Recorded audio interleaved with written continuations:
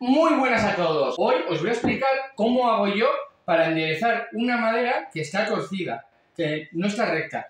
Como podéis apreciar, veis el baile que tiene, ¿verdad? Vamos a enderezar esta madera con la rebrusadora. Para ello, vamos a poner una superficie recta y vamos a apoyar la que está torcida. Hace el giro.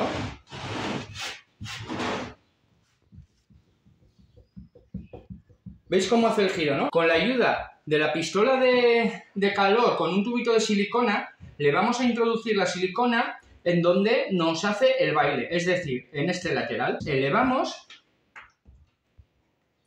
metemos un poquito de silicona,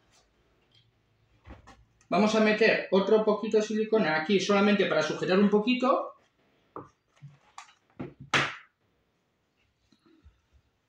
y dejamos secar. Una vez que se haya secado lo vamos a introducir por la reglosadora. ¿Qué nos va a hacer la reglosadora? Nos va a ir quitando la capa superficial hasta dejárnoslo nivelado. Vamos a tener una cara totalmente recta. Una vez que tengamos la cara totalmente recta, totalmente nivelada la parte de arriba, soltaremos el tablón y ya sí, por el lado contrario, le pasaremos otra vez por la reglosadora, pero sin la ayuda del el tablón recto que hemos puesto debajo. Vamos a ello.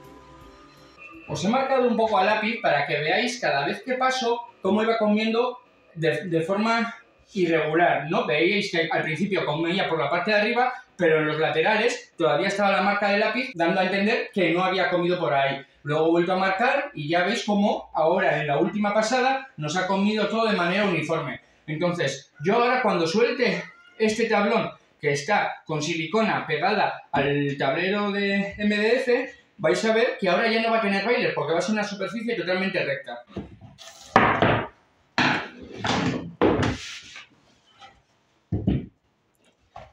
Vale, como podéis ver, hemos, hemos soltado ya el tablero de MDF y esta es la cara buena que nos ha quedado. La reglosadora nos ha comido el tablón de manera uniforme. Entonces, ahora cuando lo volteemos aquí en la mesa, vais a ver que ya no tiene ese baile que tenía al principio.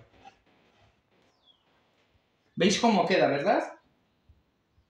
Ya no baila el tablón. Ahora podríamos pasarle la regresadora por esta parte porque esta ya es la buena, esta es la guía de la tabla. Entonces cuando le pasamos por la regresadora, esta cara también nos la va a nivelar. Y vamos a tener, vamos a conseguir así, de este método, un, un tablón totalmente uniforme y recto. Es la manera que yo uso, da un poco de trabajo, pero es muy práctica y tiene un acabado muy bueno. Un saludo y nos vemos en la siguiente. ¡Hasta luego!